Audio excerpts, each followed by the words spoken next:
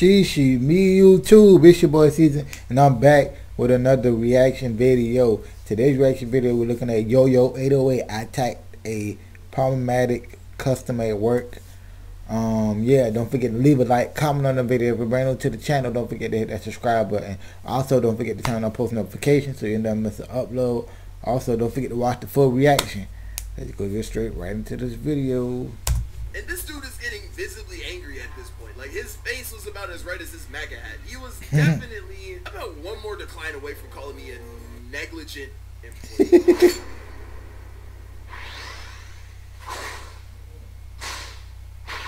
if you don't count YouTube, I've worked about one, two, three jobs in my life. And of those jobs, I've been fired about one, two, three times. It's not that I'm a bad employee. Wow.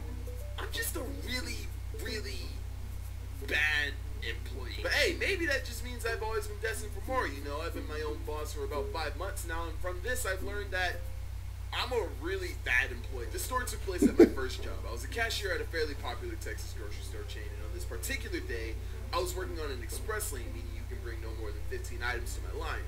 So the time comes for my shift to end, and I start finishing on my last customer of the day. I put up the close sign on my lane. I turn off the light to signify to other customers that I'm done. I finish the last customer, turn off the register, and right as I'm about to dip, I hear, "What about us? What about?" you?" I look over, and all I see is this mountain of groceries getting wheeled over Wow. by these two people. But that's none of my business. My shift just ended. I'm gonna just walk up to my manager like, "Yo, what's good? My shift is over. Those people over there want to be scanned. You got me right." Yeah? Appreciate you, dog. Yeah, I'm gonna go do that.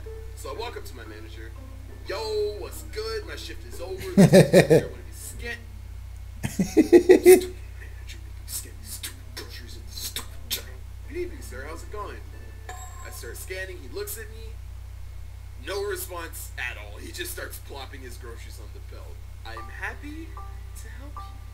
I start scanning his stuff, and at the store that I worked at, bags cost 25 cents. So I asked him, Would you like any bags, sir? And at this moment, I knew this guy was going to be an issue because he says verbatim, if they aren't free like they should be, then no, just put my stuff in the cart. I'm What? to help you. After realizing that this guy is a piece of garbage, I ignore him and finish scanning everything. Mind you, my shift ended five minutes ago. I tell him his total, he swipes his card, and... er.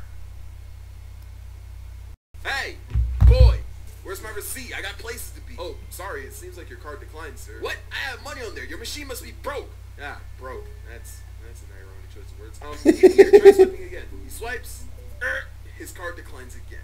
Hey, if you want, I can take some stuff off. There you go, do that. I'm happy to serve you.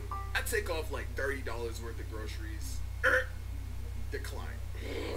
Ma, can you get this? I'll pay you back. The lady he had with him was apparently his mom, and she hasn't said anything this whole time. She gets her card, swipes in.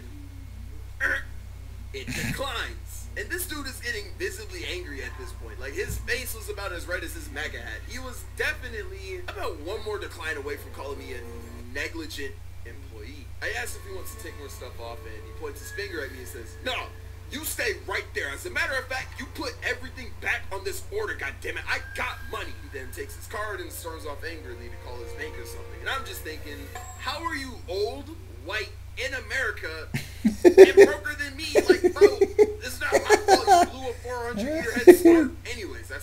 Rescan the groceries I took off, and his mom starts to put stuff in the cart. Still not saying a word, but I really don't care. My shift ended like 15 minutes ago. I'm just trying to get this order over with. So I start scanning the groceries as fast as possible. And when I scan a lot of items quickly, I like to toss things from one hand to another. So I'm scanning and tossing.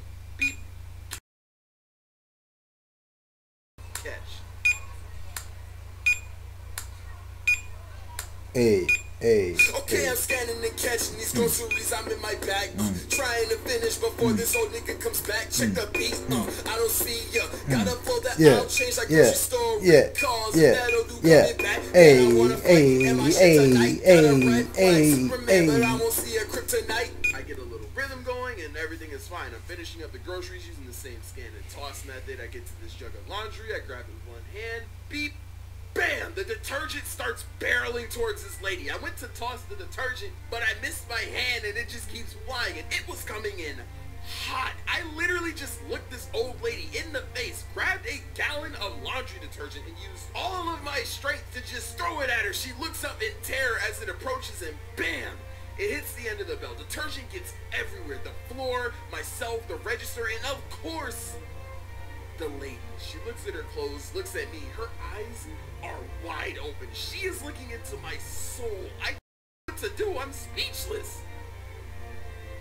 And so is she. She's like shaking and shit. She did not say not one thing. I quickly finished scanning. I cleaned the floor myself, and the lady is still doing the stanky leg, but I kind of wiped her off too. And I'm doing all this while frequently glancing back at the door to see if the guy is coming back. Because if he sees that I literally assaulted his mom with laundry detergent, he's gonna come back and probably sue me because he clearly needs the money. It was only like fifty dollars worth of groceries. So I'm wiping their cart like super fast because I don't want bro to see me. I take one more glance at the front door and I see him walking by with this angry look on his face. Time is moving in slow motion as I see him get closer and closer and farther and farther.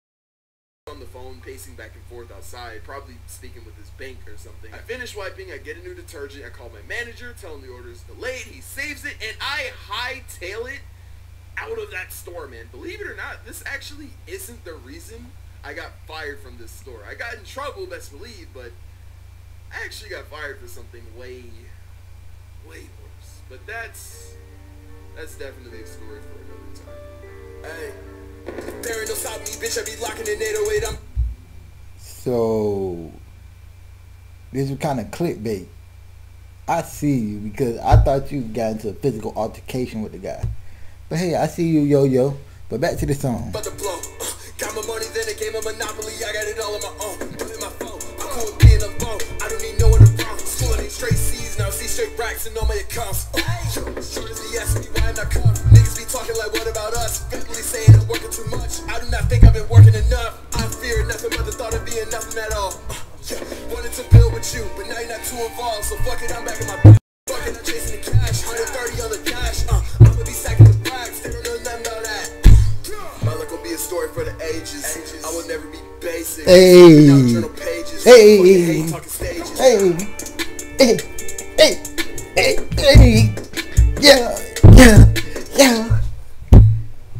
Good, Grim. It's your boy Caesar, and I'm out, and I'm tired. Peace.